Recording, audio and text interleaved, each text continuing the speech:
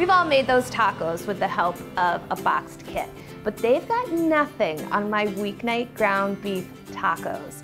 I developed this recipe back in 2019, and it's still one of my go-tos. So we're gonna start with the ground beef, and today I'm gonna be using 90% ground beef, which is a little leaner than I would normally use for tacos, and that is because we are going to use some chorizo sausage. Let's talk about that for a little bit. Now, there's two different types of chorizo sausage that you're gonna find in the grocery store. This is Spanish chorizo. It's harder and it's already cured. So technically you could just slice it and eat it as is. But this is Mexican style chorizo. And unlike the Spanish style, this isn't cooked. But when it cooks, it crumbles nicely just like the ground beef. And it also comes with a good amount of fat, which is why we're gonna be using 90% lean ground beef today to make up for that. And it does come in a casing. So what you wanna do is just use a paring knife and run it right down the sausage link, just like that.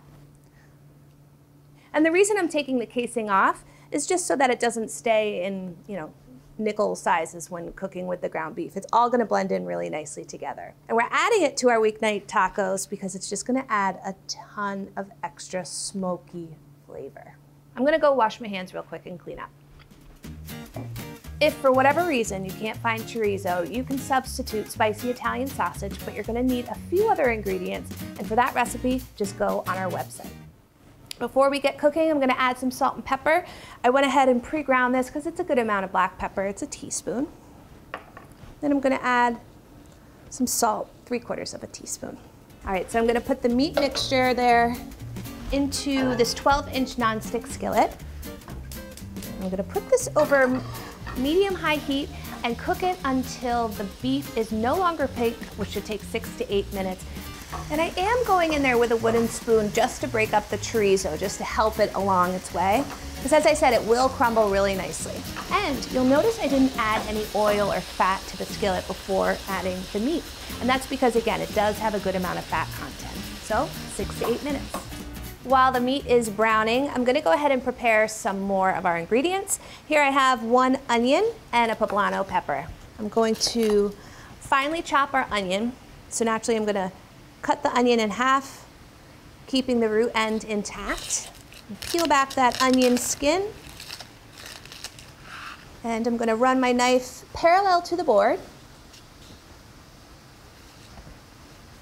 And turn it the other way and then run my knife perpendicular all the way through.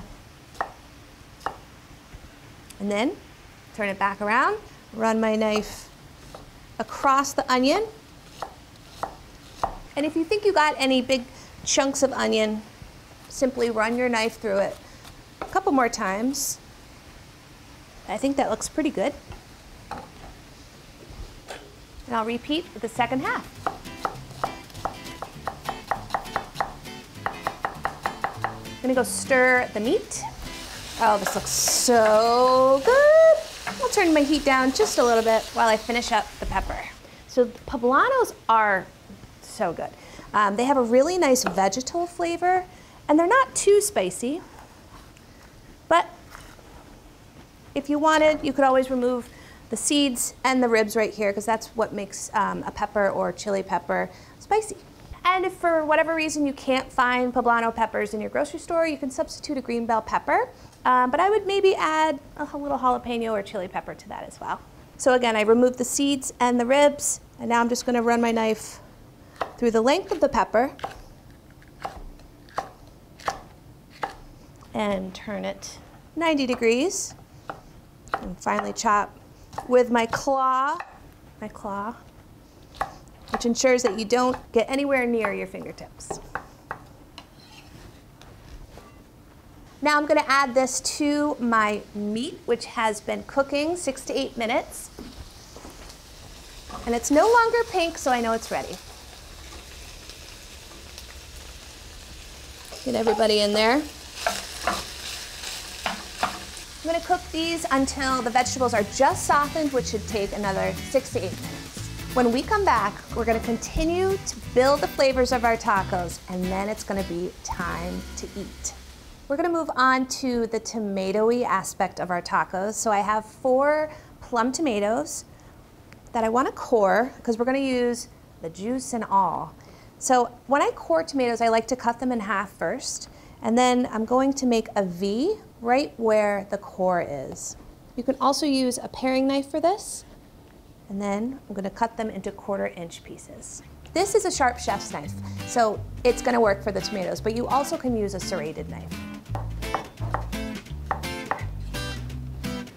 Put these aside, get a half a cup of water, and I'm gonna cut up some cilantro that's been stored in the fridge.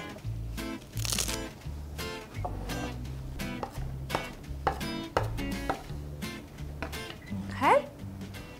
So for the remaining ingredients, we have some garlic, some chipotle and adobo, and some cumin. So chipotle and adobo are one of those flavor bombs that you can add to something like this especially. So they are smoked dried jalapenos. And when they sit with this beautiful adobo sauce, they take on so much flavor, but they're also a little on the spicy side. So I'm gonna give these a good cut because you want them to get minced. And I'm only gonna be using a couple teaspoons. But if you have a few people in your family or some of your friends that aren't huge spice fans, I would maybe leave this part out. But I don't want to scare you because you really should make it with them. And we've got some cumin, which is one of the usual suspects in those boxed kits. So that's three teaspoons, which is also a tablespoon of ground cumin. And then I'm going to mince four cloves of garlic. So since I'm going to be putting them in a garlic press, I am just going to use the flat side of my knife and that just releases the paper from the garlic. But it keeps it pretty much intact. So I'm just gonna mince the garlic cloves with the help of our garlic press. And then just use my knife just to shave off any bits that were hanging out there, hanging out for the party. Okay, I'm gonna head back to the stove and add our aromatics here and let them cook until fragrant, which should take about 30 seconds. I'm just stirring them just to incorporate them throughout the beef mixture. Oh, it smells so good.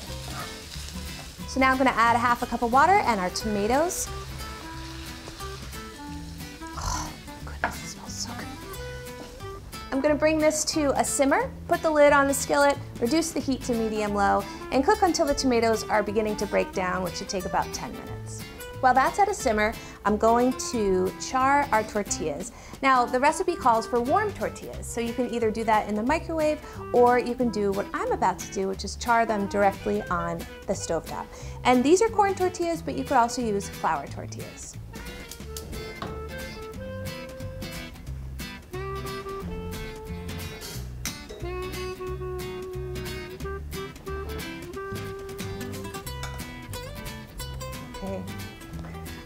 Turn off the heat Oh my goodness, that smells so good. And now just off the heat, I'm gonna stir in some chopped cilantro. Oh my goodness. And as you can see, the tomatoes have broken down and softened and kind of become a nice, slightly thickened sauce at this point. Let's eat.